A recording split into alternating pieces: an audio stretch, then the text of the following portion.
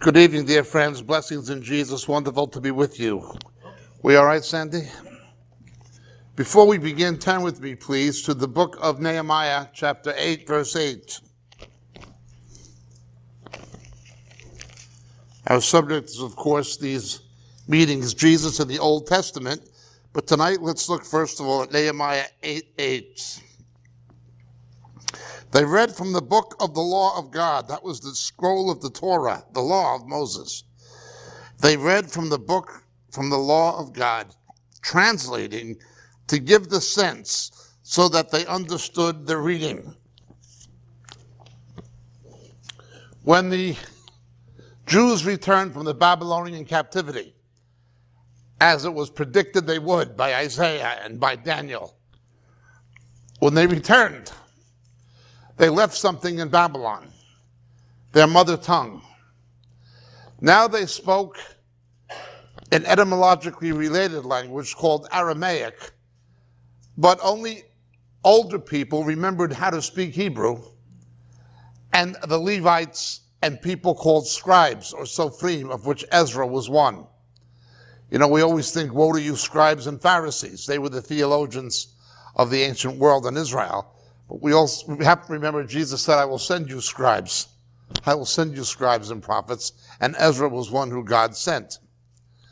So they left their language in Babylon.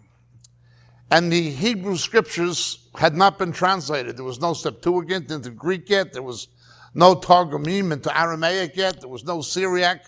You just had scriptures in a language that very few people could even read. There's only one verse, only one verse in the entirety of God's word, one and one only. God only saw need to say it once.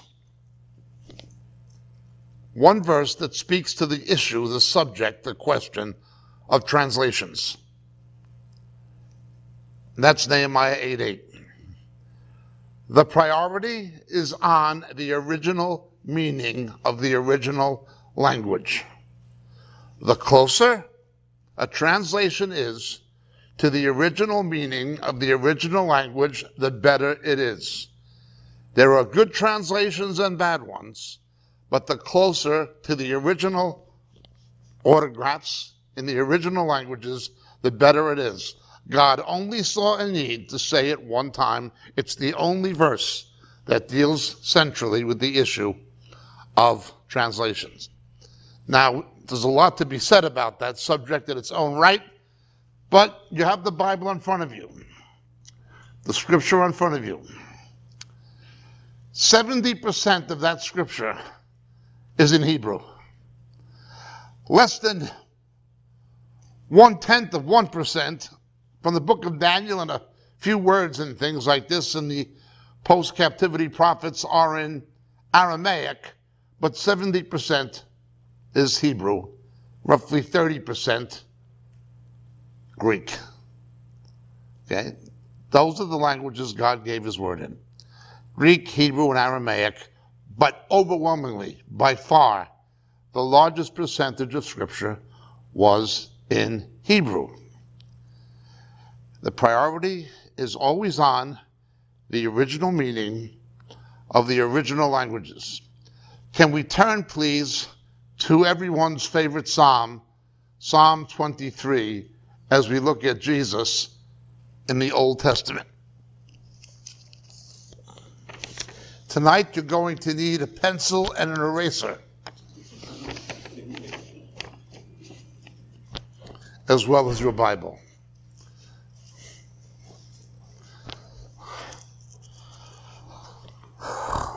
A psalm of David, the Lord is my shepherd, I shall not want. He maketh me lie down in green pastures. He leadeth me beside still waters. He restoreth my soul. He guideth me in the straight paths for his name's sake. Yea, though I walk through the valley of the shadow of death, I will fear no evil, for thou art with me. Thy rod, thy staff, they comfort me. Thou preparest a table before me in the presence of mine enemies. Thou hast anointed my head with oil, my cup runneth over.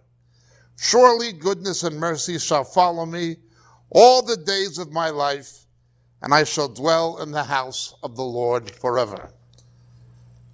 Most translations, the King James and so forth, read something like that. Now let's read what it really says and verse by verse translate the Hebrew into English, word by word. Mizmor le David. רואי, לא אקסר, בנאות דשא, ירביצני על מאי, מנוחות ינחלני. נפשי ישובייב, ינחני, במגלי צדק למען שמו. גם כי אלק בגיא צל מוות לא ארערה, כי אתה עמדי, שבטך ובשנתך המה ינחמוני. פרוק לפניי שולחן נגד צורריי, דשנת בשמן ראשי, כוסי רוויה. איך טוב וחסד ירדיפוני, כל ימי היד. ושבתי בבית יחואה לאורך ימים. מזמור לדוד.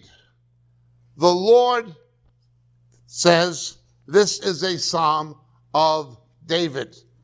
A single psalm is called a mizmor, a mizmor.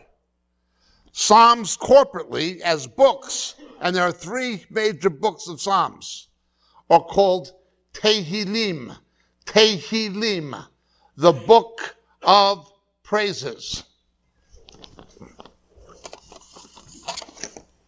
A single psalm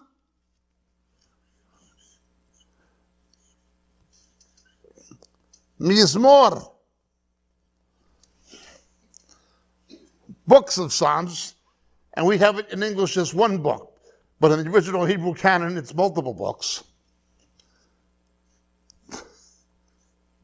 Tehillim. Same root as Tehillim, Hallelu, Lechalel, to praise. It's the book of praises. The book of praises. It's the scriptural hymn book. Its literary genre is Hebrew poetry. Now, there are other Psalms in Scripture not found in the book of Psalms. There are other Psalms in Samuel and so forth, and Isaiah, they're not found in the book of Psalms. Not all Psalms are in the book of Psalms, or actually, more accurately, books of Psalms, and not all Psalms are Psalms of David. This, however, is a Psalm of David. When you see Mizmor David, a Psalm of David, there's a reason. There are psalms that were liturgical, used for the high holy days and worship in Jerusalem. There were different kinds of psalms that had different kinds of musical melodies and rhythms. Much can be said about the psalms, but this one is a psalm of David. And it begins like this. Mizmor le David. Yehovah ro'i lo exar. If your Bible says the Lord is my shepherd. I shall not want. Cross that out. That's wrong. That's not what it says. That's wrong.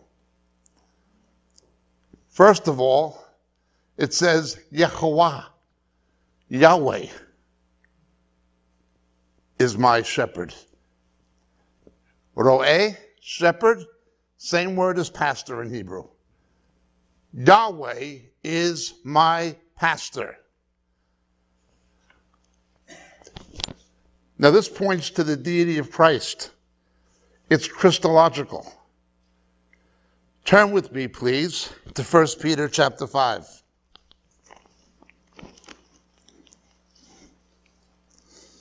Therefore, I exhort, exhort the elders among you, as your fellow elder and witness of the sufferings of Christ, and partaker also of the glory that is to be revealed, shepherd the flock of God among you exercising oversight, not under compulsion, but voluntarily, according to the will of God, and not for sordid gain, but with eagerness, nor yet as lording it over those allotted to your charge, but proving to be examples to the flock. And when the chief shepherd appears in verse 4, you will receive the unfading crown of glory. Notice certain things. A pastor of a church will receive a crown of glory similar to martyrs. Why is that? Not every pastor will be martyred the way Jesus was for the sake of the sheep. But every pastor must be willing to be martyred for the sake of the Lord's sheep, as the Good Shepherd did in John chapter 10.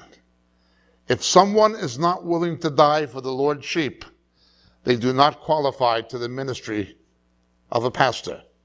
I have to go to Vietnam in a few weeks. I go to places where that can very well be the reality.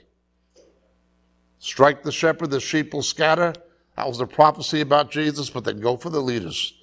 The persecution, they go for the leaders. Well, now, when the chief shepherd appears, it doesn't matter if it's a Baptist church in a rural community in the American South like this one. It doesn't matter if it's a megachurch. It doesn't matter if it's a house church with 20 people. That doesn't matter. The pastor, the senior pastor, the chief shepherd of every fellowship of believers is Jesus Christ. The pastor you see is the assistant pastor.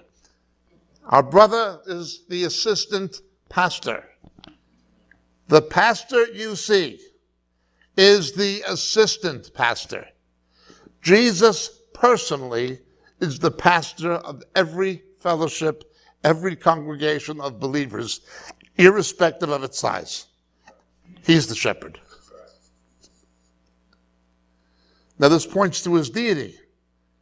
It doesn't say, the Lord is my shepherd. It says, Yahweh, God. Well, let's look at Peter again. He says this exercising oversight, the word episcopo, get the word episcopalian or the Greek word for bishop, epi, the prefix around, episcopo, looking over. Okay.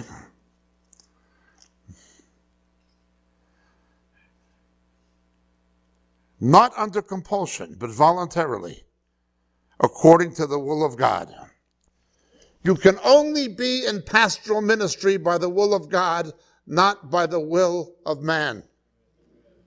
Believe me, there are certain ministries nobody would want. Nobody in their right mind would want to be a pastor.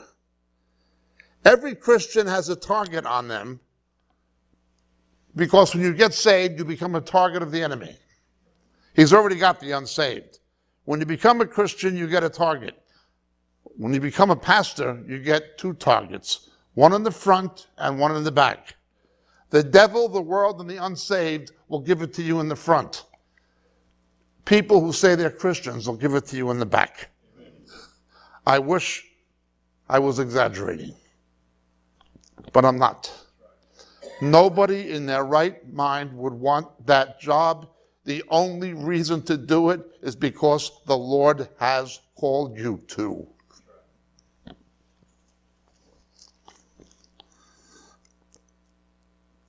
according to the will of God. Not for sordid gain. Be careful of people who go into the ministry for a vocation or a career or a job. Right now, the Southern Baptists are compromising on the most fundamental of moral issues like homosexuality. And you've got pastors in churches who know it's wrong, but they won't speak up, they won't speak out. They're not watching over the sheep because they're what Jesus called hirelings. They're in the ministry for sordid gain. Their priorities are the building, their pension, superannuation, salary, their position within the movement or denomination. They're in the ministry for sordid gain. Therefore, they will not look out for the Lord's sheep. That is their motive. They don't have a calling, they have a job. Sometimes it becomes a racket. They're not looking out for the sheep, looking out for them. Sordid gain. taken to extremes, this is what Ezekiel 34 calls.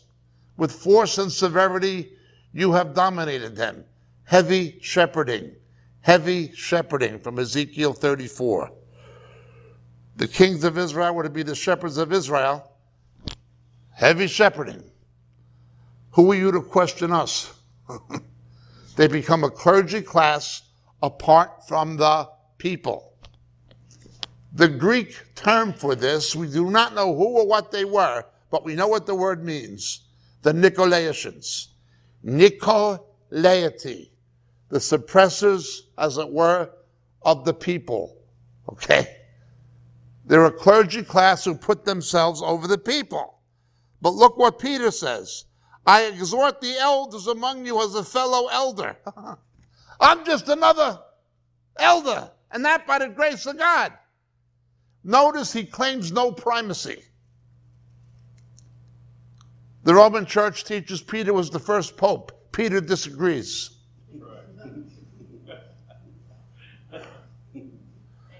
When you look at the first church council in Acts 15, who was presiding? Peter or James? and he wasn't the pope either. But if there was a pope, you have a better case for him. The whole Roman system is a pack of lies. Now understand. The Greek word for Antichrist, Antichristos, means in place of Christ, not just against. Pope says he's the vicar of Christ, Vicarius Christus. You translate that Latin, Vicarius Christus, into Greek, it is Antichristus. Every Pope says he's Antichrist. There is a vicar of Christ. The Holy Spirit is the vicar of Christ. It is the Holy Spirit who acts vicariously in place of Jesus and his spirit alone. You put a man in that position, you have a spirit of Antichrist. The Roman papacy is an Antichrist institution. Nicolaitanism, Antichrist, putting themselves in the position of Jesus. This is my church. No, it's not. If it's your church, get out or take it and go. Well, let's look. Shepherd the flock of God. It's not your flock. Not for sordid gain. Be careful of people who don't think it is proper to make tents. For years in Israel, I filled prescriptions six days a week, co-led a congregation one day a week. It was the only thing I knew how to do. Needed a job, had a family, young family, had to work. There's nothing wrong with making tents. Be careful of people who will not have a secular job, business, or profession. They expect the ministry to take care of them. Well, we're called to a church is looking for a preacher. How many people come? How big is the offerings and tithes? How much does it pay? and that's not the question. Is Jesus calling you to that church? That's the question. Well, God guides, God provides. Now, if a church or a ministry reaches the size where it needs pastor or staff full time, Praise God. That happened in the book of Acts, chapter 6, didn't it? If the ministry grows to a point where you need somebody or some ones full time, that's good. But be careful of people who are in the ministry because it's a job. If they don't make tents, they should go out and get an honest job. Well, let's look. You do it voluntarily without remuneration. Not under compulsion because God told you to. Not lording it over. No Nicolaitanism. No heavy shepherding. But proving to be examples. Jesus didn't just say what to do.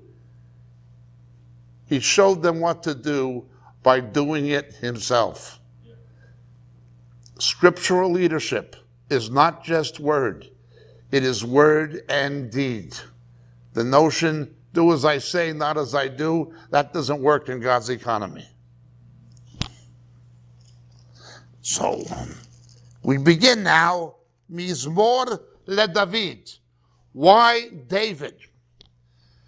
David is the Old Testament shadow or type of Jesus Christ as king and as good shepherd.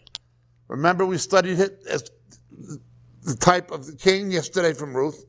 He's the type of Christ as king and as shepherd. David was a shepherd. Okay. In the Old Testament, when you read Kings and Chronicles, David was the barometer. How good a king a king was, and remember Ezekiel called the kings of Israel and of Judah the shepherds. How good a king, how good a shepherd of the nation they were, was how much like David they were. He walked before the Lord like his father David, or he did not seek the Lord with all his heart like his father David had done. They're always compared to David because David is the Old Testament shadow of Christ. How good is the pastor? How Christ like is he? you understand? One is the shadow of the other. Mizmor David, Yehovah ro'i. Yahweh is my pastor. Lo exar.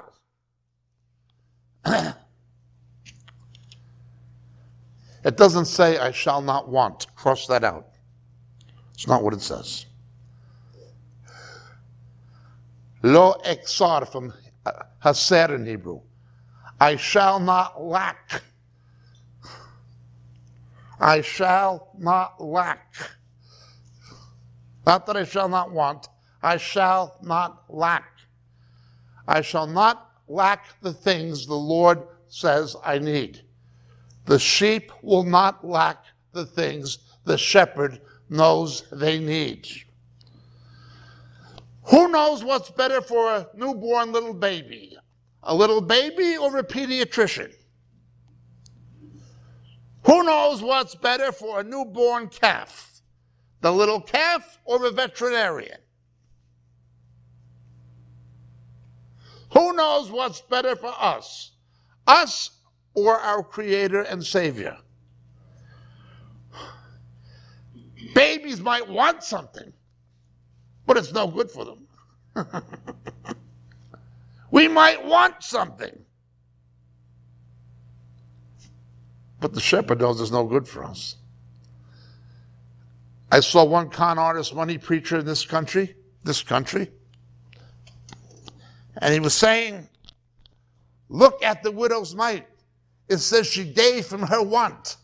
She gave because she wanted to get something. If that's your motive for giving unto the Lord, don't give.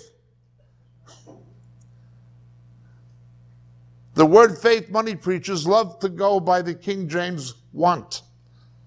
But that's not what it says. Now, I'm not against the King James, don't get me wrong. I'm just saying the priority is on the original meaning of the original language. We shall not lack. We are told by the Apostle John if we ask according to his will. Yes, I just believe the Lord for that Mercedes Benz. Hallelujah. I always wanted a Porsche, Lord. Hallelujah. I claim it in the name of Jesus. Yeah. I want it. And it's mine by faith. It's my birthright as a Christian. Hallelujah. During the millennial reign of Christ, it'll actually will be something like that. The meek shall inherit the earth. During the millennial reign of Christ, it'll be something like that when he's ruling this place instead of Satan. But greed won't be a factor.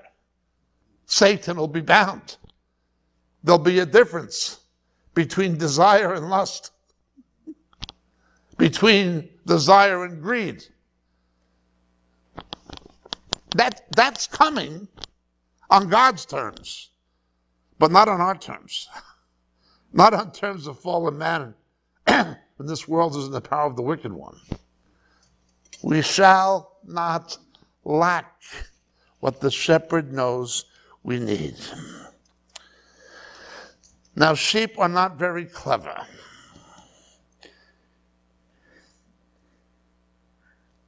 Let's look at the next verse.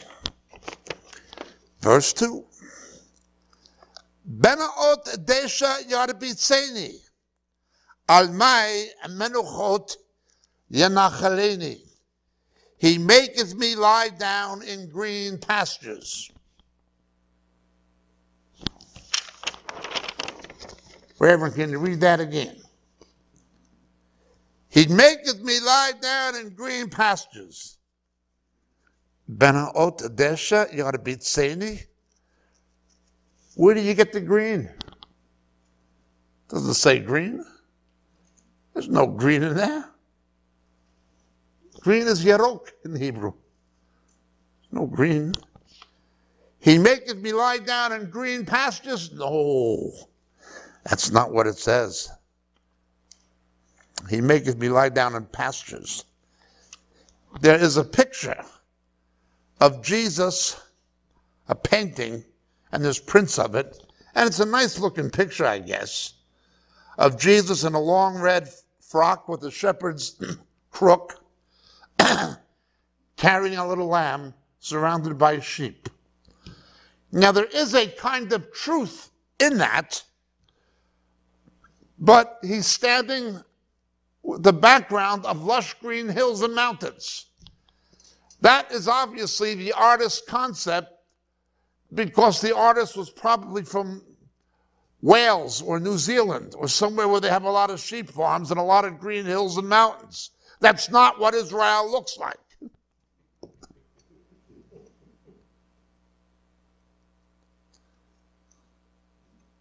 It's rocky hills, it's deserts, it's brush.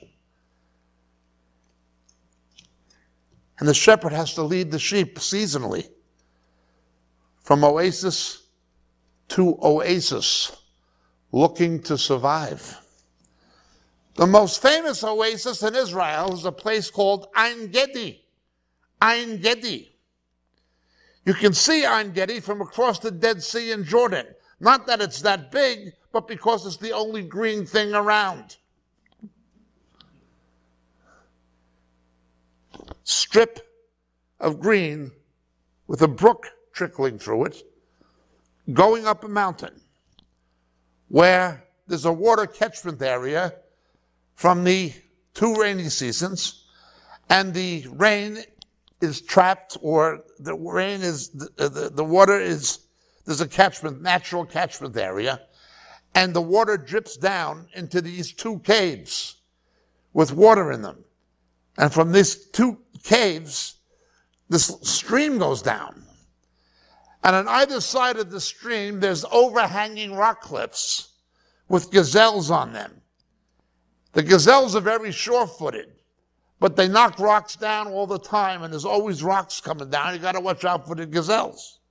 Okay? In these caves is where King David hid from King Saul.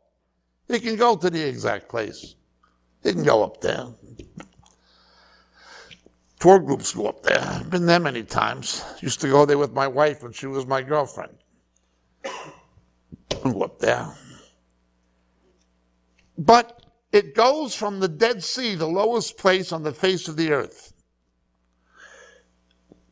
Dry heat, I'm not exaggerating, 120 to 125 degrees Fahrenheit.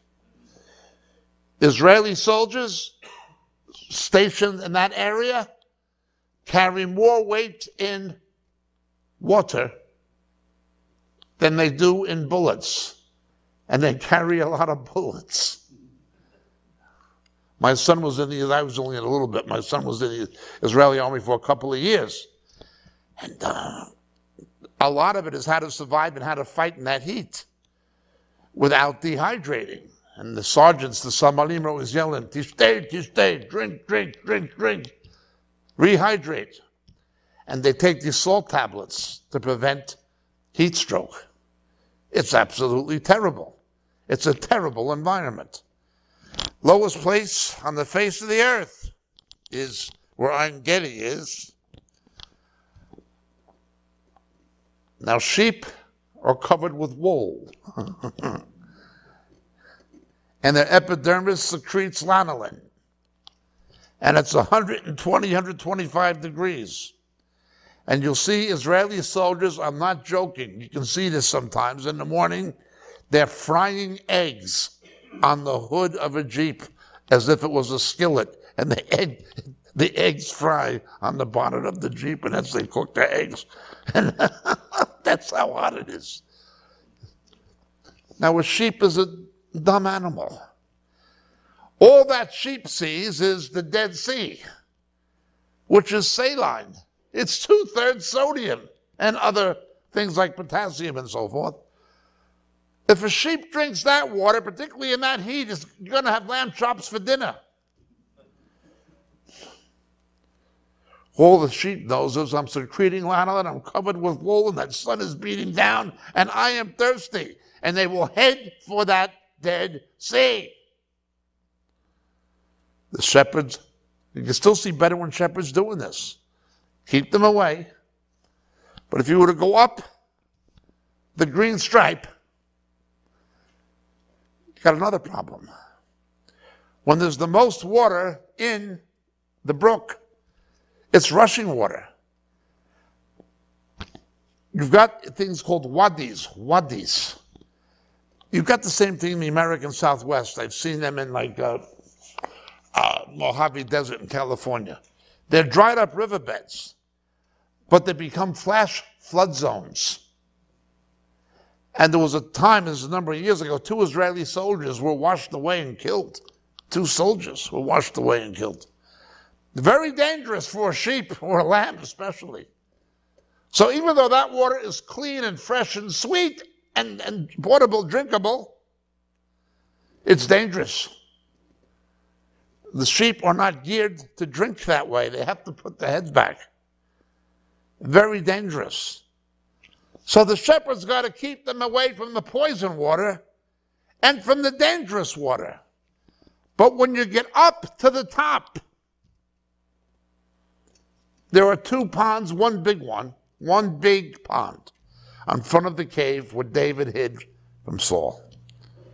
And it's beautiful. There's nice plants and fauna. There's birds, there's butterflies. There's, there's no people around to scare them. And sheep go there, and you've got this calm, beautiful, sweet water surrounded by lush vegetation in the middle of this barren wasteland. This is Ein Gedi. It's Israel's most famous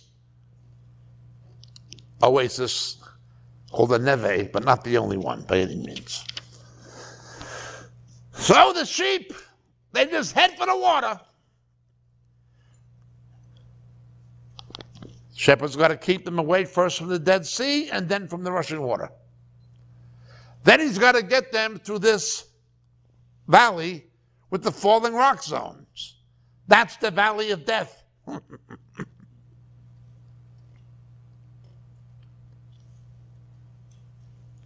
away from there. Get away from there. Using the shepherd's crook, the rod and staff to keep the sheep away from the Dead Sea, where the water is poison to them, and to keep them away from the rushing water. Sheep will go right for it. Just like a baby will put his finger in an electrical socket. They don't know. They know what they want. They don't know what they need. The shepherd does. Well, he makes me lie down in pastures. He leadeth me by waters still. Benaot desha yorbitseni, menachot yanachalini. Don't drink it there. Don't drink that. Don't drink this. Keep away. Don't go near that. This way. Follow me.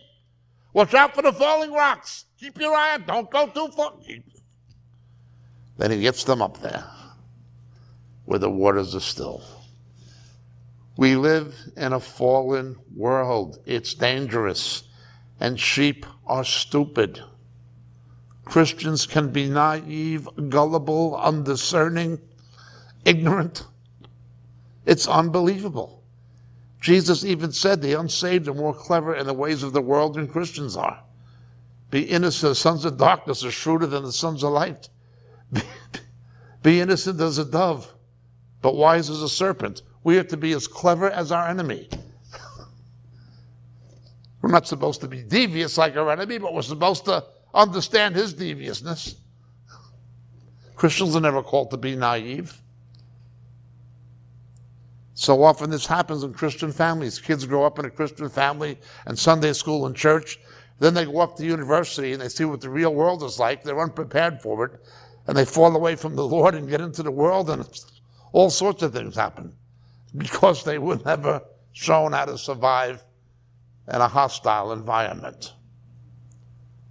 When you're in a hostile environment, you need to walk with the Lord very closely. In my wayward youth, I was a cocaine addict. David was a junkie. We were in the world of drugs. And um, I went through an incubation period for two and a half to three years where I couldn't listen to any music except for traditional hymns and certain things. I particularly couldn't listen to classical music or rock music or blues or anything like because I associated it with drugs and with sexual immorality. I reached a point in my life and my growth, however, where I was able to walk with Jesus and I was able to go out in New York City and witness to drug addicts on the street and give them tracts I could be right in the middle of what I was saved out of and tell them the gospel. Needed a period of growth. Couldn't have done it as a lamb. But you can do it as a sheep if you walk with the shepherd. Didn't matter to me. They were taking drugs that had no temptation. The world is treacherous. So it goes. Now, remember, I'll give you living water. Maim Hayim. John 7, 38 and 39. But this he spoke of the Holy Spirit. John 4, he told the woman at the well, I will give you Maim Hayim, living water, the Holy Spirit. Comes from Isaiah 44, 3, I'll pour out my spirit. Okay? But to a sheep, water is water. You see people going looking for the Holy Spirit in wrong places. Pensacola, Florida, Toronto, Canada. Why will they go to these counterfeit revivals? All they see is the water, the Spirit. Yeah, but what Spirit? Oh, it's the Holy Spirit. No, it's not. People out of control having conniptions? Where's the Holy Spirit? The waters are still. That doesn't mean we don't get excited. You can. I used to jump with my wife into the pool of Engedi and splash and kick around, and swim around. We had a great time. Doesn't mean it's not excited but the waters were still, they weren't dangerous. You can't even swim in the Dead Sea. You're so buoyant. Little scratch, it will burn like Gehenna.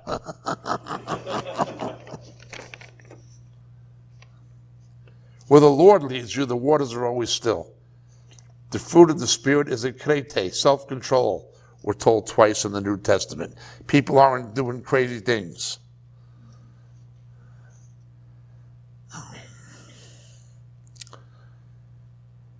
Nafshi Yeshoviev Yanchini B'magalet Tzedek Lama'an Shmo. He restoreth my soul. Let me tell you what that really says.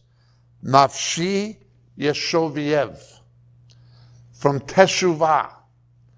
The Hebrew word for repent, teshuvah, means to turn from sin towards God.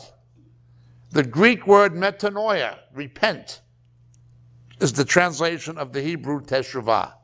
It means you turn.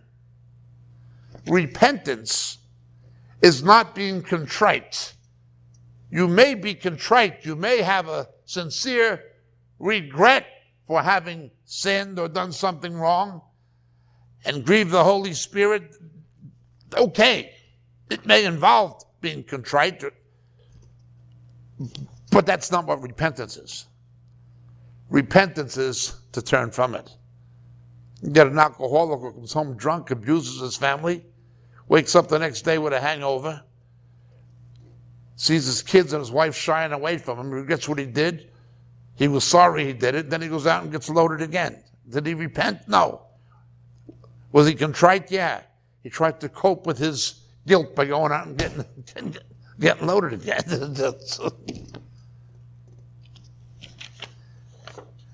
what the shepherd does how he restores our soul?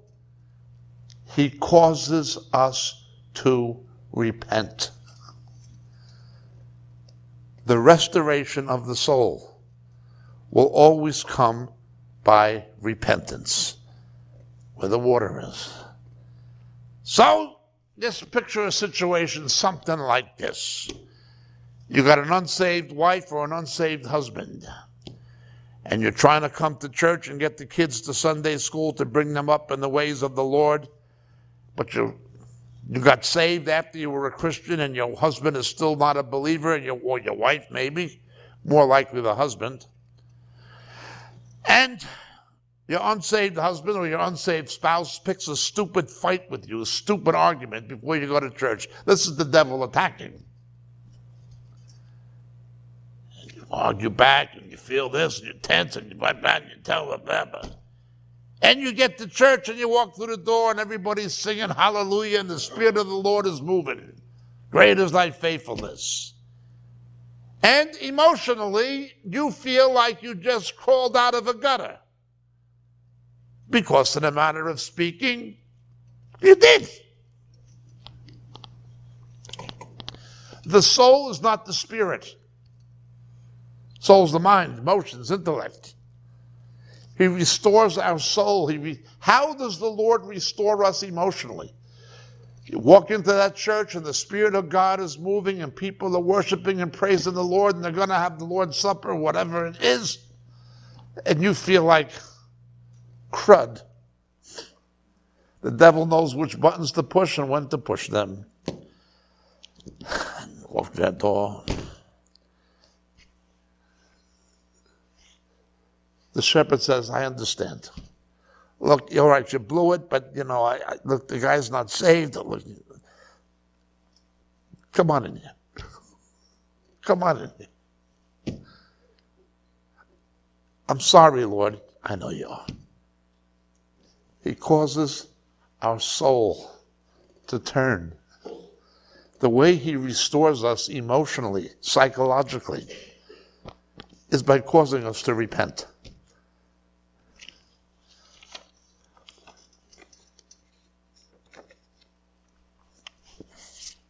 In order to get someone to repent, God uses guilt. Once there is a repentance, the guilt has served its purpose. Then it's something that the devil tries to use. You understand? Pre repentance, it's a weapon in God's arsenal. Post repentance, it's a weapon in the devil's arsenal. To remind you of all the bad stuff you did. Well, if God causes himself to forget our sin for the sake of his son, why are we going to let the devil remind us about it? But it's a battle of the soul. He restores our soul. Yadheni, b'migale tzedek rama'an shmo. I don't know how to get this, but get the eraser. He guideth me in straight paths, or leadeth me in what narrow paths, or something like that. That's not what it says. It says Magale Tzedek. Not narrow way. It's circles of righteousness. Circles of righteousness.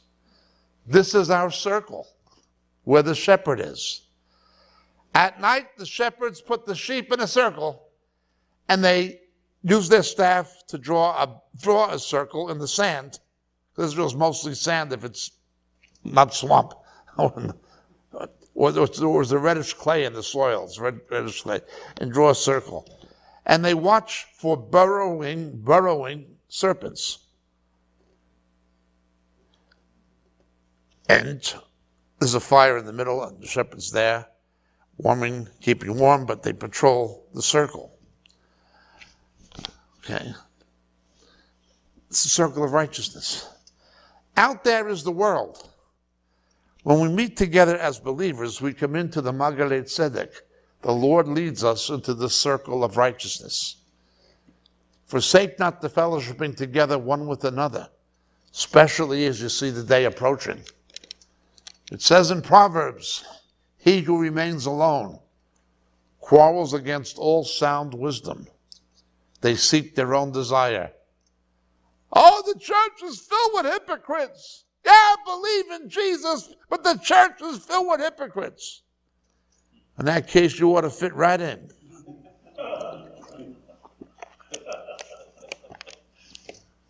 This is not a social club for nice people. It's a rehab center for forgiven sinners. That's all. It's just where basket cases are being transformed by the power of God's Spirit. We're no better than the world in and of ourselves. It's only the righteousness of Jesus and the Magalet Tzedek. The Lord will always lead us into the Magalet Tzedek. You can't find the good church meeting a home. But let's go. He does this for his own namesake. in the Old Testament, particularly in Kings and Chronicles, you'll see when Israel went into backsliding and rebellion, God would often still give them victory over the Philistines and things like that for his own name's sake. He didn't want the Philistines thinking that their God, Dagon or something, was a superior God to him for his own name's sake. Now that's something. The Lord does good to us for his own name's sake. Why does God forgive our sin? For the sake of his Son, who has his name. Sake of his Son. He can't forgive us. He can't forgive us unless his son paid for what we did. Why did I die, Father? To save them. You can't let them go. I died for them. The name above all names. He does it for his own name's sake. The things the Lord does for us, he does because of his own name. Well, let's look. Gamki alek begetz al mavet. Though I walk through the valley of the shadow of death, uh, lo irara. Remember the fallen rock zone? Now, most of the Christians I know see this as some kind of a tunnel when you give up the ghost with light at the end of it or something like that, and they think that's the shadow of death. I don't know. I don't know. Uh, that's not what Stephen saw. The passages of scripture that tell us what you see when you give up the ghost doesn't have him going through a tunnel. That's not what he saw. But walking and sojourning in this life in a fallen world, that, that's the valley of death. This is a fallen rock zone. And you, you got a rushing stream on one side that can wash you away and kill you, pushing you a tremendous aquatic force into boulders. And you got falling rocks This place is dangerous. Not only that, there's predatory animals. Predatory animals, ariot, lions. Well, wolves. We call them ze'avim in Hebrew. And we know that the wolf knows how to dress up like a sheep.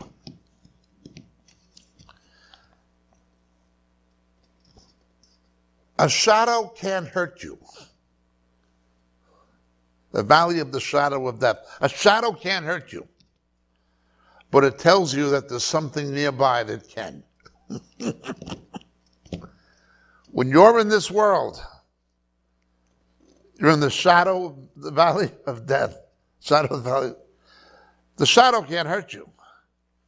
But there's something nearby that can, unless you stick close to the shepherd. He knows how to get you through that thing. He knows how to get us through this world. He went to the cross and he rose. Been there, done that, got the t shirt. Another type of Christ is Moses. How did Moses lead Israel 40 years through the wilderness? He spent 40 years in that same wilderness himself.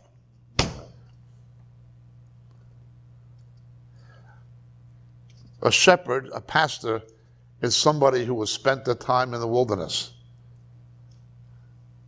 That's one of the reasons we cannot allow young believers to be pastors. Now, young, I don't necessarily mean biologically young, I mean newly saved. Unless you've been through the wilderness, you don't know how to lead other people through it. Unless you've been through the valley of the shadow of death, unless you've undergone trials, testings, temptations, you cannot be God's vehicle to guide his sheep through it. Remember, God does not count age biologically based on birth. He counts age by second birth. He told Jeremiah, you know, don't say I'm only a youth. He told Timothy, let no one look down on your youth. It's not about biological age. It's about not how long since you've been born. It's about how long since you've been born again. There's, there are young people who are quite astute and wrapped quite tight when they're even in their late 20s. And there's other people that they've seen people in their 50s and 60s and they're in a playpen. They never grew. They don't. Okay. When you go through the valley of the shadow of death, no, the shadow can't hurt you. But it tells you there's something that it can. Stick to the shepherd. Well, let's continue. I will fear no evil, for thou art with me. Thy rod and thy staff, they comfort me, as we translate it. Lo irara ki ata imadi, you are with me. Shivtacha umeshantacha hima yanachamuni. Thy rod and thy staff, they comfort me. Most scholars think the shepherd's staff or the shepherd's crook is the rod and staff are the same instrument applied in different ways. Notice it puts the rod first. Now, the staff you can lean on. We all like to lean on the staff. What a friend we have in Jesus. All our griefs and sins to bear. I can just lean on the Lord. Well, that is true. But that is the staff. The staff comes second. The rod of correction comes first. You dumb sheep, I told you keep away from the water. What? What'd you go there for? I told you Benny Hinn is a false prophet. What are you watching him on TV for? What? Get over there.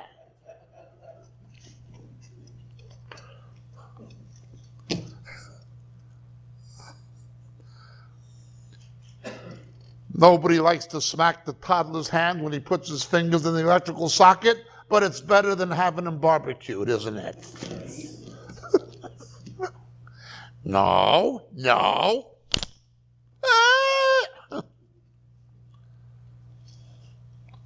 There's a fallen nature. Well, let's look.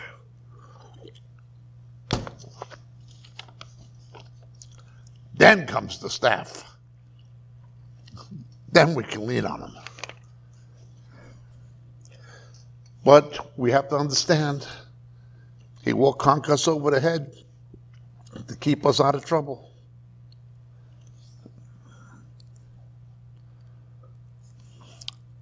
Lefanav uh, shulchan. In verse 5, something happens in the Hebrew poetry. It begins to take on a paschal or a Passover imagery. Thou prepare a table before me in the presence of thine enemies. That's how it's translated, usually. Ta'aroch lefanai shulchan neged tzorarai. Sorry, cross that out, it's wrong. That's not what it says. That's not what it means. He doesn't prepare a table for us in the presence of our enemies. The word enemy is oyev, our enemy oyevenu. That's not the word. It's sororai, the one who causes us trouble. You have the Yiddish word, Hebrewized German, soris, trouble. Okay? But sorot, like uh, in Jeremiah, hatekafat hatzorat Yaakov, the time of Jacob's trouble. S- Satan causes us trouble. What does it say in Peter? Don't be surprised, my brethren, when a fiery ordeal comes upon you. as if some mysterious thing was happening? Satan, knowing his time is short, he's like a lion trying to devour. Why is everything going wrong? How is this happening? He's causing us trouble. That's what he does, and he's good at it. And he has a lot of experience. Oh, don't worry, his day is coming, but he's desperate because his day is coming.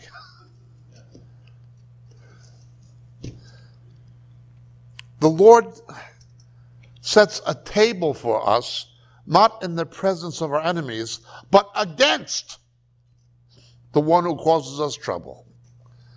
Remember, the Lord's Supper is not only a memorial of what he did do in his death and resurrection. We proclaim his death until he comes. It is an appetizer of the marriage supper of the Lamb.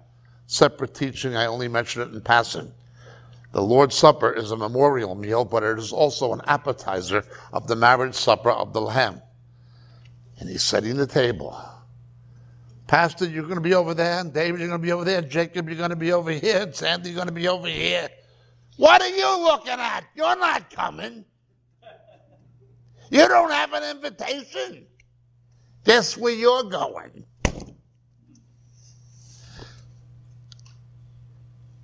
No eye hath seen nor ear heard had the Lord prepared for those that love him. Satan sees what the Lord is doing, and he knows he's not invited. It drives him nuts. So he does everything he can to make trouble. The table is set against the one who causes us trouble. Okay.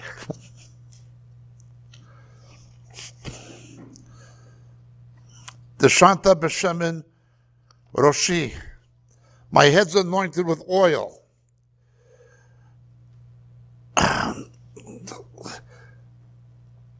Now, the word anointed is not there. Mishcha, Mish- Mashiach, Messiah is oil. That's not what the word is.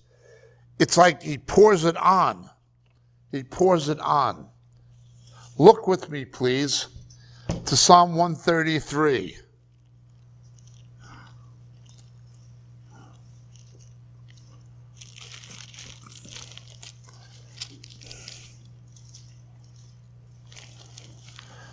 Behold how good and how pleasant it is for brothers to dwell together in unity.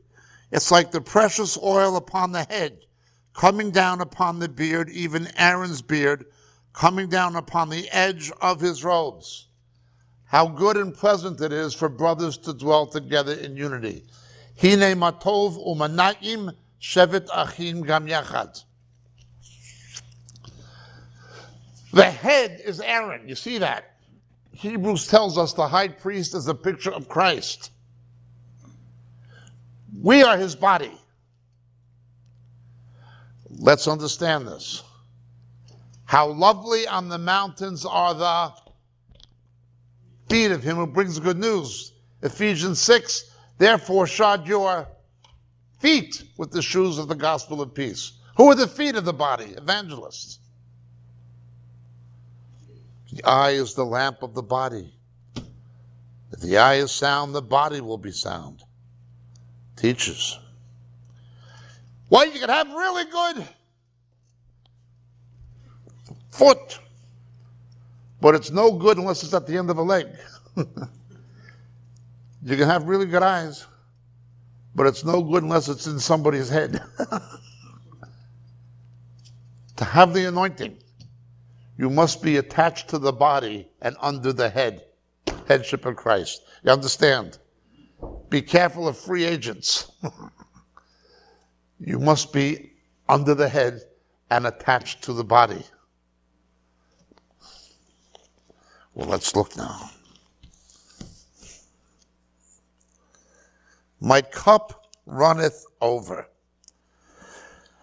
Now, this is, I don't want to get into it too much, but it comes from paschal imagery.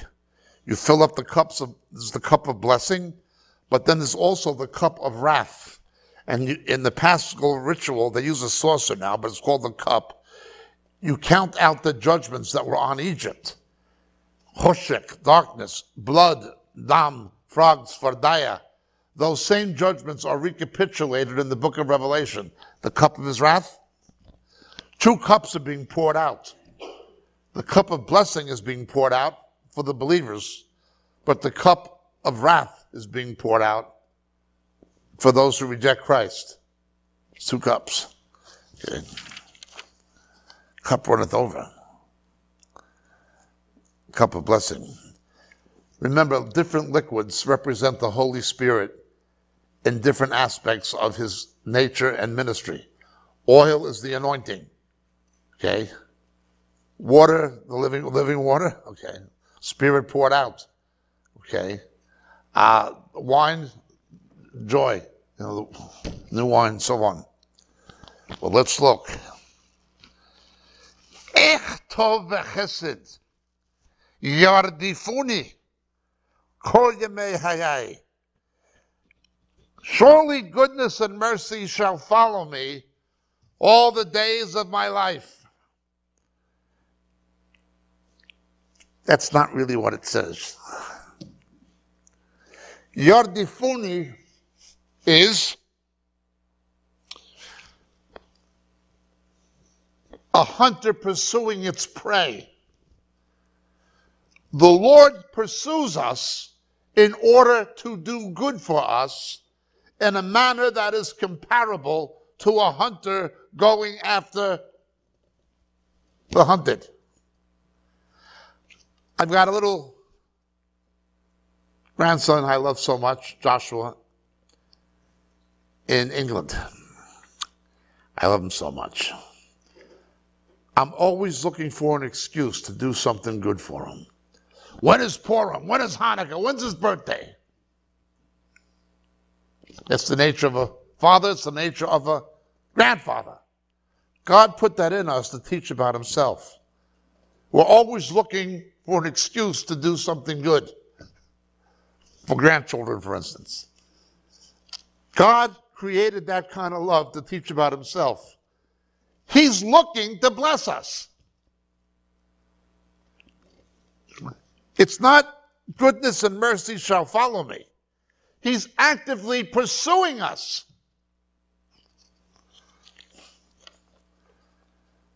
Quite a thing. All the days of my life, and I shall dwell in the house of the Lord forever.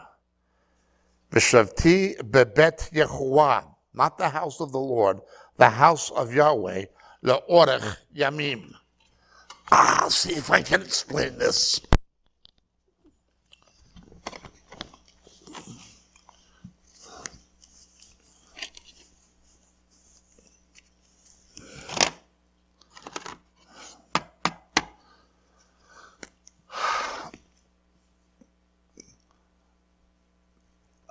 Olame Olamim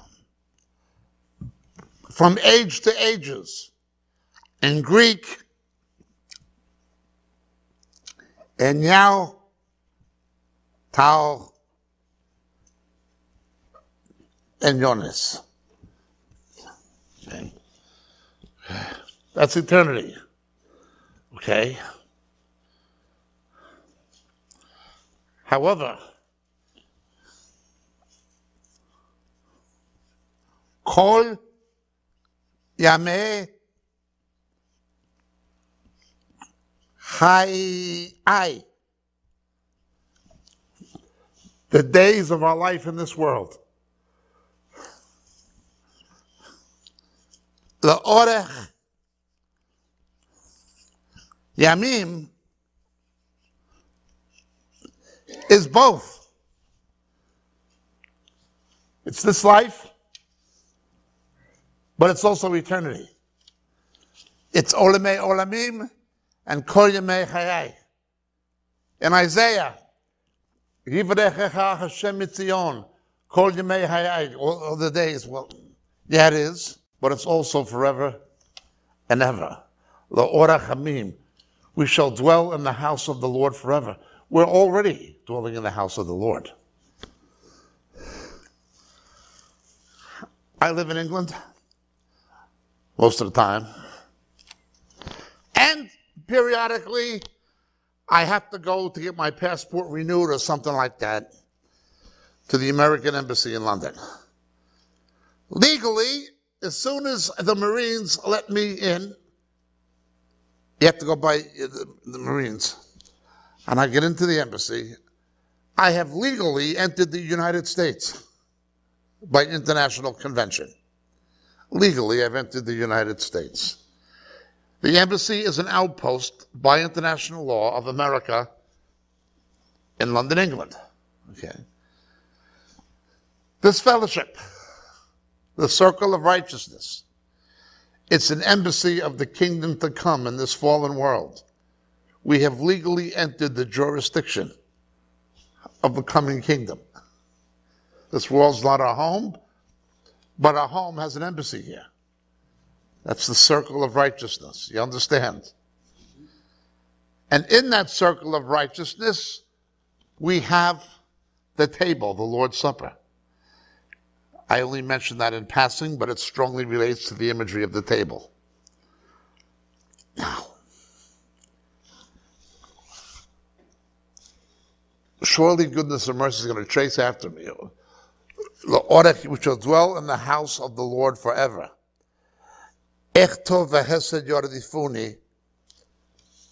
Uh, hayim. All the days of my life. But we shall dwell in the house of the Lord forever. I'll tell you what I do. We have worked with children in various countries. If you go on our website, you'll see the Philippines. We're opening a new work in India.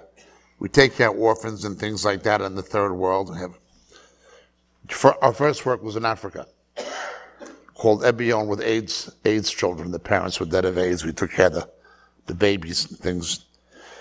And when I go to the airport in London, Heathrow, I've got to deal with certain things. Well, let's see, am I going to a malaria area in Africa? I got to go to the airport clinic, maybe get some inoculations, or I've got to go to the pharmacy in the airport, get some Malarone tablets because there's malaria, plasmodium vivax, whatever. Got to got to do the medical stuff, health stuff, right? Got to do that stuff. Let's say, oh, I got to do some work before I get on that plane. I just got an email. I got to. Where's the business lounge? I got to go go to work. Oh well, you got. I got to buy some presents for the kids. Oh, where's the duty free shop? I got to do the commercial stuff, the health stuff, the work stuff, the commercial stuff. Anything else? Uh, well, yeah, you got to change money. You got to get some rand. Where's the Bureau de Change? Where's the American Express? I got to buy some South African currency. I got to do the financial stuff, the commercial stuff, the health stuff, the work stuff. I got to do all that. No getting around it. But what I really like is when I've done all that, and I go into the departure lounge. when I'm in that departure lounge, Cape Town, South Africa is one of the most beautiful cities in the world. And they've got posters of the Cape of Good Hope and Zulu warriors with their native headdress and costumes and things like this, and wonderful animals up in the Kruger National Park with the giraffe and rhinos. And when you see these animals in their natural habitat, it's not like a zoo. It's completely different. It's spectacular. It can be dangerous, but it's spectacular. Okay. And there's a magazine rack with all kinds of brochures and magazines about South Africa. All that.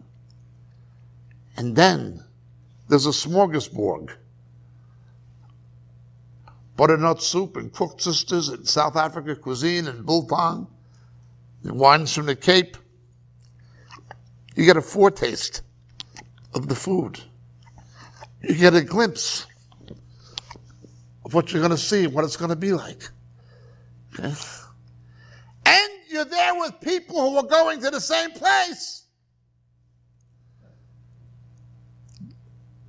I shall dwell in the house of the Lord forever. Remember, unsaved people, the older they get, the less they have to live for. Believers, the older they get, the more they have to live for. With unsaved people, their aspirations end at the grave. For saved people, their aspirations begin when they check out. For unsaved people, their real trouble begins at the grave. For believers, our troubles end when we give up the ghost. The older you get, the less you have to live for if you're not a Christian. The more you have to live for if you are.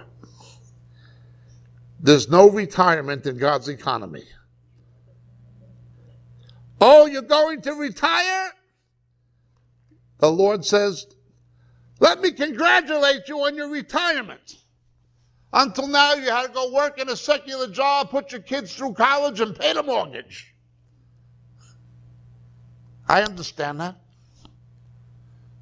But let me congratulate you on your retirement because now you work for me full time. you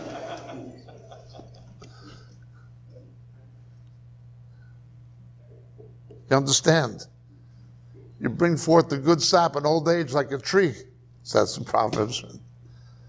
Ah. Unsaved people, the less they have. Believers, the more. Well, let's look. So I'm in the departure lounge. And here's the smorgasbord with the food from South Africa, and the posters, what it looks like, and the animals in the Kruger and the Zulu warriors and the Cape of Good Hope and all this fantastic scenery. And all the literature and magazines about where I'm going. And I'm looking forward to seeing the kids, you know, seeing my friends. And, uh, I'm with other people going the same place. Now, one of two things are going to happen. There's going to be an announcement. It's going to say, Will all passengers for Cape Town please report to gate B32? Or it's going to say, Jacob Prasch, your flight is waiting. Please report to gate 32 for Cape Town. Either we're going to fly out of here one at a time or we're going to fly out all together. It doesn't matter. We're going to the same place. This is the departure lounge. Here is the literature about where we're going. We are here with other people bound for the same destination.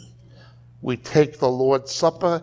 It is a foretaste of the cuisine awaiting us at the marriage supper of the Lamb. Surely goodness and mercy will chase after me. Let's go through it once again. A Psalm of David, the Old Testament shadow of Jesus as Good Shepherd. Yahweh is my pastor. I shall not lack anything he knows I need. His grace will always be sufficient. Where he guides, he provides. He makes me lie down in pastures no matter how hostile the environment. He'll get me to the place I need to be. He'll lead me to where the living water really flows. His spirit, not the spirit of the world, not counterfeit spirits. He restores my soul. No, he causes me to repent when I get contaminated with this place. Then I'm restored. He leads me in straight paths? No, he brings me into the circle of righteousness. Though I walk through the valley of shadow of death, that shadow can't hurt me, but something's around that can. I better stick close to the shepherd, then I don't have to fear it. Thy rod and thy staff, they comfort me. I can lean on the Lord, and if I'm stupid, He's going to get me out of trouble. Bang! Get over here, you jerk. Told you not to do that. You prepare a table for me in the presence of the one who causes me trouble. By the grace of Jesus, I have an invitation to the marriage supper of the Lamb, and the one who causes us trouble doesn't. You've anointed my head with oil now. You've poured it all over me. Attached to the body under the headship of Christ, my cup runneth over.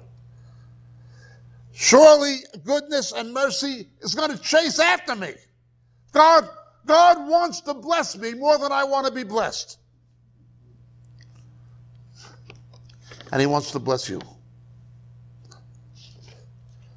And I'll dwell in the house of the Lord right now in the circle of righteousness. But the flight's going to be announced. Whether I get a private jet or we all get on the same plane, we're going to the same place. Mizmor David. Yehawaro ih lo eksar. בנאות דשא ירביצני, על מי מנוחות ינחלני. נפשי ישוב ויהב ינחני, במגלי צדק למען שמו. גם כי אלק בגץ על מוות לא יררה, כי אתה עמדי, שבטך ומשענתך, המה ינחמוני. תערוך לפניי שולחן נגד צורריי. דשנת בשמן ראשי, כוסי, רוויה. איך טוב וחסד ירדיפוני כל ימי חיי. ושבתי בבית יהוה לאורך ימין. I and you and we, because of Jesus our shepherd, who is God made man, will dwell in the house of God forever. God bless and thank you for listening, Pastor.